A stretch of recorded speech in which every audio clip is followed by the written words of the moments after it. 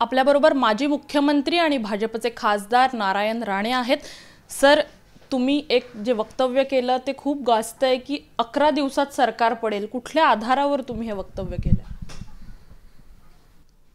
आता जे सरकार महाराष्ट्रात आहे ते अस्थिर सरकार आहे. ते सरकार जास्त काळ टिकेल असं काही काम करत नाही आणि अशी परिस्थिती नाही आहे मी भिवंडीला क्रिकेट सामन्याच्या उद्घाटनच्या कार कार्यक्रमाला गेलो होतो.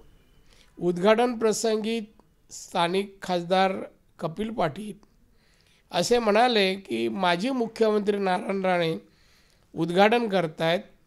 समारोप माजी मुख्यमंत्री देवेंद्र पाटील हे या स्पर्धेचं स स्पर्धेचा समारोप करणार आहेत असं त्यांचं ते वाक्य होतं.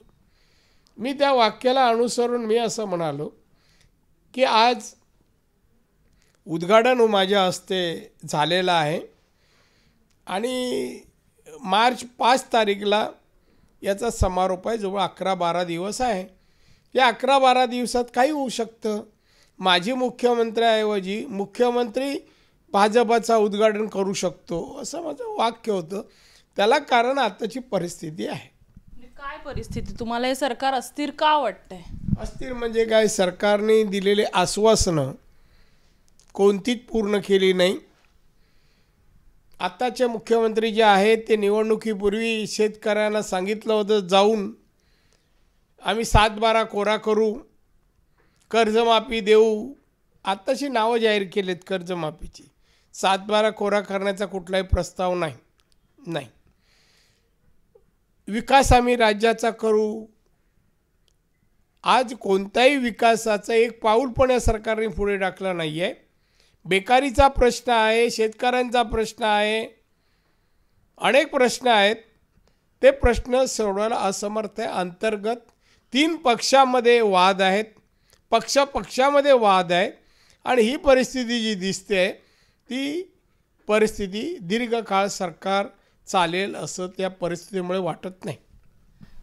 तुम्ही या वक्तव्य केल्यानंतर आम्ही शिवसेनेच्या काही लोकांच्या प्रतिक्रिया जाणून घेतल्या होत्या. त्यावेळी गुलाबराव पाटलांचं असं म्हणणं होतं की ज्यांना भाजपने बकरा बनवलं त्यांनी अकराची भाषा करू नये.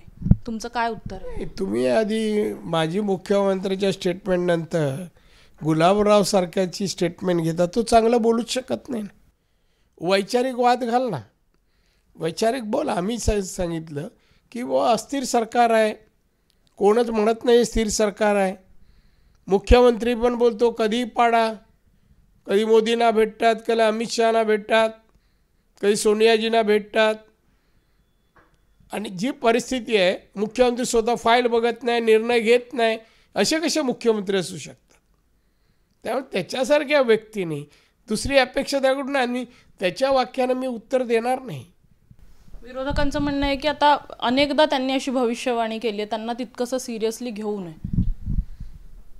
अनेक अनेकदा तुम्ही अशी भविष्यवाणी केली आहे तर त्यांना तितकंसं सिरियस सिरियस घ्यावा का न घ्यावा हा त्यांचा प्रश्न आहे.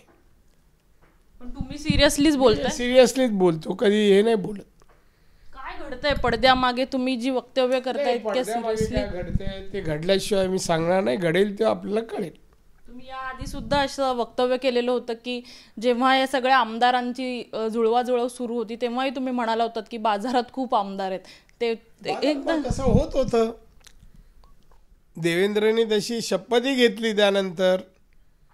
अजितदादा परत गेले नसते तर सरकार भाजपचं आणि एन सी पीचंच असतं ना?